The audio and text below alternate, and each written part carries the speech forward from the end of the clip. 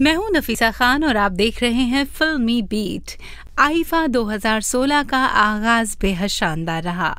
इस मौके पर कई सेलिब्रिटीज ने अपनी अपनी परफॉर्मेंस दी, जिसमें डेजी शाह ने अपने तो नहीं, पर कपूर एंड सन्स के जाने माने गाने अभी तो पार्टी शुरू हुई है, पर जमकर ठुमके लगाए।